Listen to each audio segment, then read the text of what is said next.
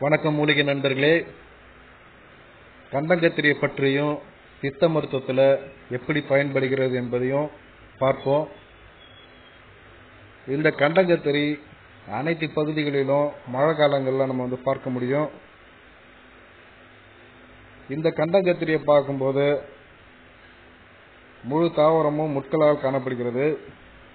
இதன் காய்கள் இலைகள் பழங்கள் அனைத்துமே மருத்துவ பயன்கள் கொண்டவை. இந்த கண்டங்கத்திரிய எந்தெந்த நோய்களுக்கு எப்படி பயன்படுத்துறதுங்கிறத இப்ப விரிவாக காண்போம்.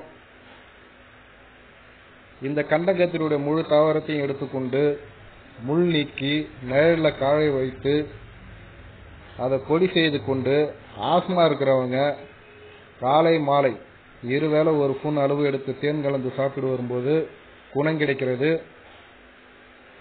சளி பிடிக்கும் போது இதன் பொடியை வந்து ஒரு ஸ்பூன் அளவு எடுத்துக்கொண்டு வாயில் போட்டு வெதுவெதுப்பான சுடு தண்ணீர் குடிக்க சளியை வந்து அகற்றும் தன்மை கூடியது. சொத்த பல்ல அடிக்கடி பல்வலி வரும்போது இதன் பழங்களை வந்து துண்டு துண்டாக வெட்டி காய வைத்து அதை பொடி செய்து கொண்டு இதன் பொடியை வந்து பல் சொத்தையின் மேல வைத்து அடைக்க அடைச்சிட்டு சிறிது நேரம் கழித்து வந்து வெதுவெதுப்பான ஒரு வெதுவெதுப்பான நீரில் வந்து வாய் கொப்பளிக்க பல்வலியை வந்து போக்கக்கூடியது. சொத்தப்பல்லில் உள்ள புழுக்களையும் கொன்று வெளியேற்றுகிறது. மேலும் பார்க்கும்போது இந்த கண்டங்கத்தினுடைய பழத்தை காய வைத்து பொடியாக்கி கஷாயம் செய்து நம்ம அறிந்து வர நல்ல செரிமான சக்தியும் நன்றாக பசியையும் தூண்டக்கூடியது.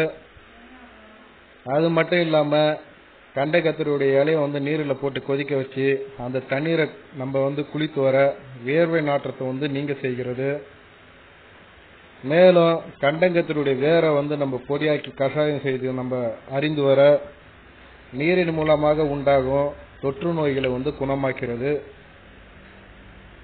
பல மகத்துவம் இறந்த இந்த கண்டங்கத்தினுடைய பயனை அறிந்து கொண்டு நாமளும் பயன்படுத்துவோம் ஆரோக்கியத்தை காப்போம் நலம் பெறுவோம்.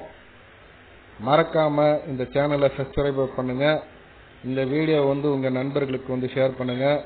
மேலும் அடுத்த மூலிகையை அறிய தகவலோடு உங்களை வந்து சந்திக்கிறோம். நன்றி மூலிகை பிரியர்களே.